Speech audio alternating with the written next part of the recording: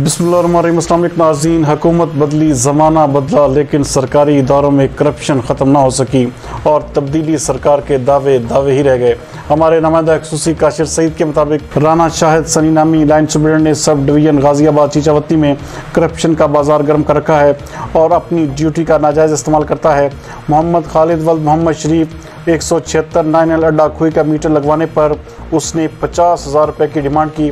मोहम्मद खालिद वल्द मोहम्मद शरीफ का इस हवाले से कहना है कि मैं मेहनत मजदूरी करके अपने बच्चों का बड़ी मुश्किल से पेट पालता हूँ। उसका कहना था कि लाइन सुब्रेंट ने वाज तौर पर कहा है कि अगर पचास हज़ार रुपया दोगे तो मीटर लगेगा, वरना सारी ज़िंदगी बिजली को तरसते रहोगे। मोहम्मद खालिद वल्द मोहम्मद शरीफ ने मीडिया की मदद से हुकाम बाला वजी अजम वजी अला साहिवाल और चीचावतनी के वापडा अफसरान से इस तरह के महकमे के नासूर अफराद के खिलाफ सख्त से सख्त कार्रवाई करने की अपील की है।